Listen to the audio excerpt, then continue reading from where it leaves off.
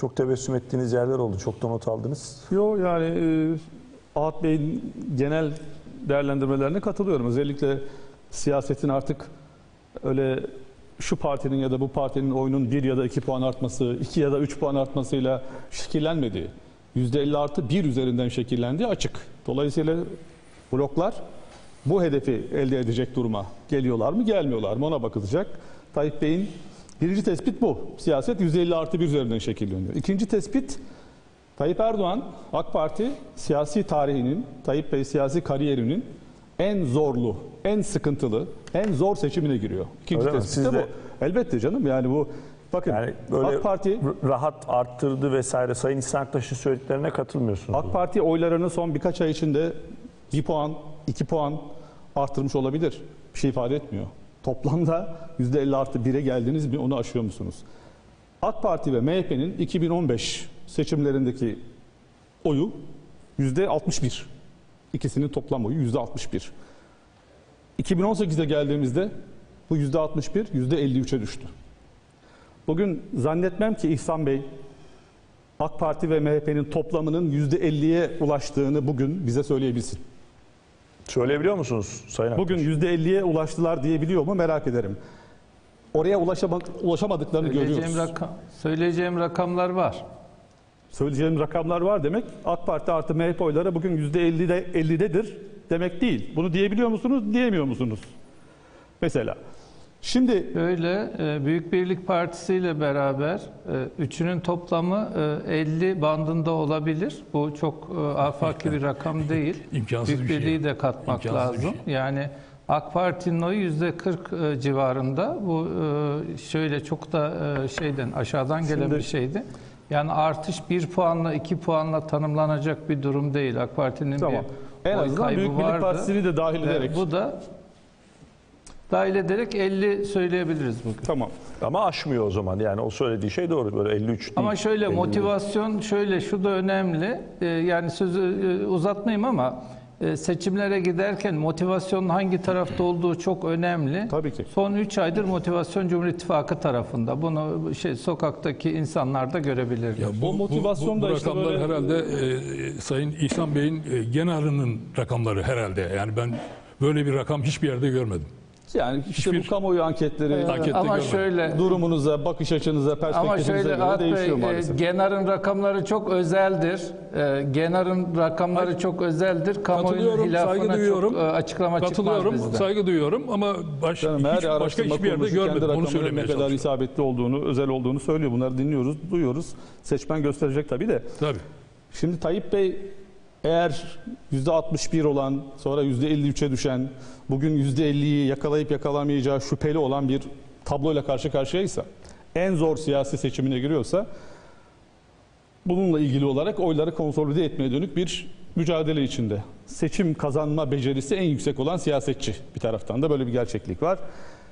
Dolayısıyla karşısındaki blok bu bir, bir anlamda kendisinin birleştirdiği blok %50 artı bir sistemini getirdiği için bloklar üzerinden e, siyaset kurgulandığı için artık onun için bir tehdit oluşturuyor. Kabul etmek lazım.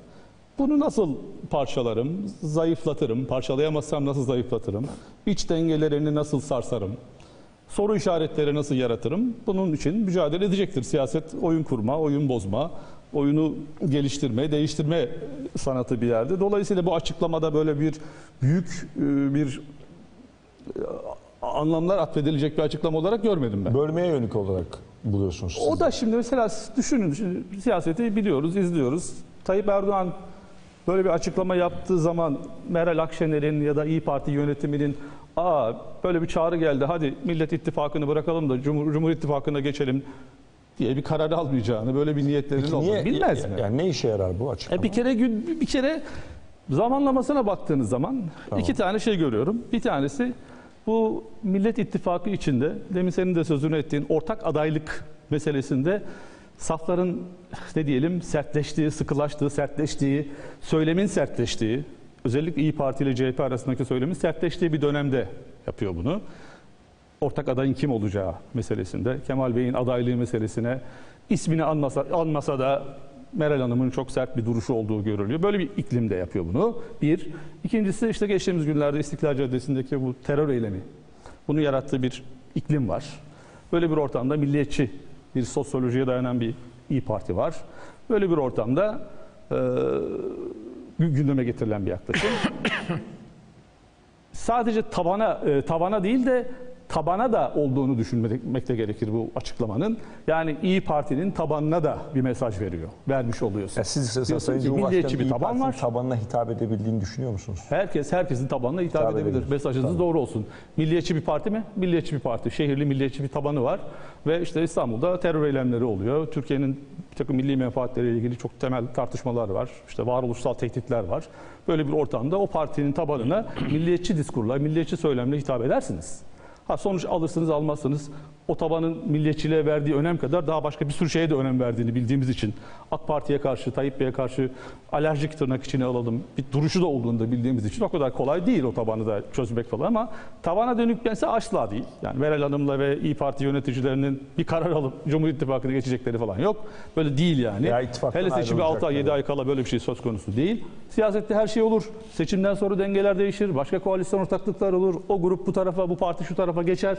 Az önce yayınların önce konuşuyorduk. Hani bu bir bir seçim seçime dönük bir işbirliği ya da belli bir ad hoc dedikleri hani belirli konularda bir mutabakat üzerine kurulu bir yapı. Dolayısıyla yarın İyi Parti'yi başka zeminlerde görebiliriz ya da MHP'yi başka zeminlerde görebiliriz. Geçmişimiz bunlarla dolu zaten. Bunlar olur. Ama bu hem gündemi belirlemeye dönük, gündemi etkilemeye dönük, bu kadar hayat pahalılığının, işte liyakatsizliğin, şunun bunun hep konuştuğumuz meselelerin gündemde olduğu bir dönemde işte bakın bugün ilk yarım saatte bunu konuşuyoruz. İşte İyi Parti oraya geçer mi geçmez mi, Meral Hanım'ın tepkisi falan falan işte gündemi belirledi Tayyip Bey. Uçaktan gelirken veya Endonezya'da bir açıklamayla gündemi de belirlemiş oluyor. Hayat pahalılığı değil de bunu konuşuyorsunuz. Olur olan bir şey mi? Hayır değil. Ama etkisiz bir şey mi? Hayır değil. Sosyolojiyi etkiler. Belirleyici mi etkiler? Hayır belirleyici olmaz. Ama bu siyaset polemiklerle yürür. Böyle bir konu. Zamanlaması anlamlı. Yanlış bir zamanlamayla yapılan bir konuşma da değil. E, zor, sıkı- sıkıntıda bir lider. %50 artı bir artık almak zorunda. 61, 53. Bugün 50'lerin altında bir iki partinin desteğini söylüyorum. Bir parti seçime 7 ay kalmış. Her şey mümkün. Böyle bir ortamda bu tür konuşmalar, bu tür mesajlar olacaktır. Peki e, ayrı hareket etmesi konusunda siz katılıyor musunuz? Ben katılmıyorum. Yani bu siyasetin geldiği nokta öyle ayrı hareketlerle şunlarla bu mutlaka e, bir blok var. Kendisi bile ayrı hareket edemiyor. Bugün AK Parti ayrı hareket etse, kendi başına hareket etse, fabrika ayarları yine tırnak içine alalım, o zeminde hareket etse daha etkili, daha güçlü bir parti olabilirdi. Duruş itibariyle ama hayat öyle değil. İşte MHP ile işbirliği yapmak zorundasınız. Onun da sizin üzerinize koyduğu bagajlar var, sınırlandırmalar var ama %50 artı bir getirdiğiniz zaman bunu kendisine söylemişlerdi. Bu, bu analizler, bu yorumlar yapılmış da %50 artı bir getirirseniz bugün kendinizi güçlü hissediyorsunuz ama yarın iklim değişir. 3 sene, 5 sene, 7 sene, 10 sene sonra başka şey olur. Başka bir iktidar bloku ortaya gelir. Bütün kazanımlarınızı da kaybedebilirsiniz. Her şey mümkün. Dış politikanız tırnak içinde Kemal Bey'in ifadesi 180 derece değişebilir. Onu değiştirebilecek bir gücü kendi elinizde iktidara getirebilirsiniz. Başka kazanımlarınızı da kaybedebilirsiniz. Yapmayın etmeyin denildi. İşte bugün o riskle eğer kendileri açısından bakarak söylüyorum karşı karşıyadır. Bir ara, bir AK ara Parti. 40 artı 1'e Güven, indirelim e, diye bir çaba da başladı Tabii. hatırla. Ama Şey, vatandaş güven duyuyor Neye güven duyuyor? dedi e, Sayın Aktaş. Yani Cumhur İttifakı'na bu meseleleri çözmeye. Vatandaşın kime güven duyduğunu Haziran'da göreceğiz. Onu sandıkta göreceğiz tabii. Mümkündür. Bugün AK Parti blokunun ya da Cumhur İttifakı'nın e, en büyük gücünün muhalefetteki zaaflar olduğunu söylerim. Yani öyle kendi kendi hareketleri, politikalarından ziyade muhalefetteki o umut vermeyen, bu kadar her zeminde kan kaybetmekte olan, her zeminde kan kaybetmekte olan ekonomiden efendim iç siyasete, kadrolaşmaya, liyakate, hukuk, hukuk meselesine kadar her konuda kan kaybeden bir iktidar ortadayken hala umut vermeyen bir muhalefet bloku bugün Cumhur İttifakı'nın en büyük şansıdır. Bunu da söyleyeyim.